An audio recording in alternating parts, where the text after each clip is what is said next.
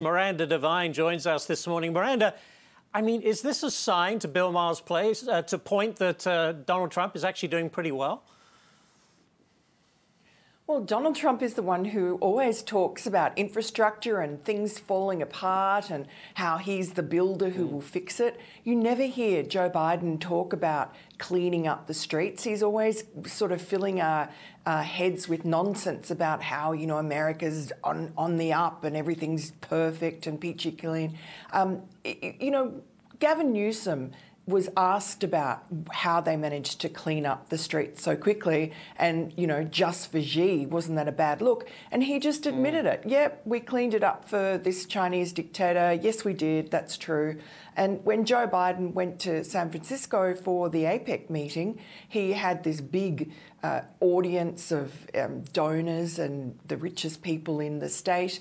And he joked about the streets being sparkling clean and the audience laughed with him. So to them, people who live in a bubble, it's a joke that there are fentanyl addicts like zombies on the street and there's human excrement on the street and it's unpleasant mm. for the average person to walk around. Um, New York's getting like that as well. A lot of Democrat cities are really uh, just collapsing.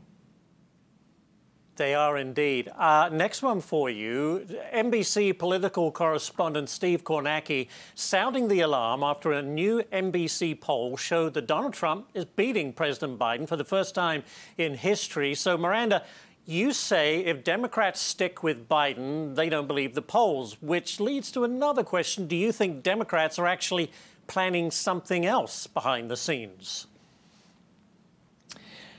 Well, it's certainly there are signs that they are. The other day, uh, President Biden let slip something about Gavin Newsom. He was praising him, but he said, well, he could do my job, the job I'm going for now, not the job I'm in, the job I'm you know, aiming towards. Um, and so that sort of reflects sometimes he will blurt out something that he shouldn't, that he's heard in a meeting. So maybe they've had conversations about it.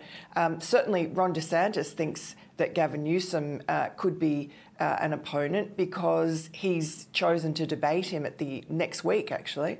Um, and Look, there's also signs from Gavin Newsom himself. We saw him a year or so ago at the White House while Joe Biden was overseas, uh, kind of measuring up the drapes. Uh, and, and then he just visited President Xi as if he himself were a statesman, as if he himself were the president already. He's very cocky, and so I'm sure mm. he's just signalling to everybody that, yes, I'm ready to step into the breach if at some point, uh, you know, Joe Biden can't continue on or his approval is so terrible. Um, at the moment, he's still within.